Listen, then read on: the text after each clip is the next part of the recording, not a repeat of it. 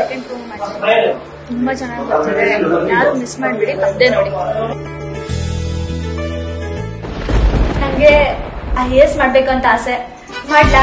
It's a beautiful family drama ಎಲ್ಲ ಖಂಡಿತ ನಾವು ರಿಯಲ್ ಆಗಿ ಸಿವಿಲ್ ಇಂಜಿನಿಯರ್ ಕ್ಯಾರೆಕ್ಟರ್ ಅಲ್ಲಿ ಅದೇ ಮೇಸ್ತ್ರಿ ಕೆಲಸ.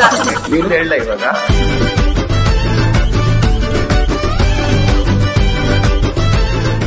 ಅಲ್ಲಿವರೆಗೂ ಕೆಡಿಸುತ್ತೆ ಹಂಗತ್ತೆ. ಇಲ್ಲಿ ಹತ್ತು ವರ್ಷ ನೋಡೋಣ. ಕ್ಯಾಮ್ರಾ ಮುಂದೆ ಮಾತ್ರ ಬರೋದು. ಕ್ಯಾಮ್ರಾನೇ ಇದು.